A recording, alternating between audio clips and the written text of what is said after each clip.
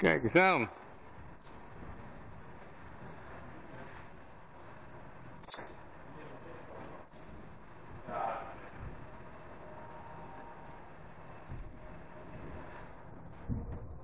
Nou, die Eden die kan wel goed klimmen, zeg.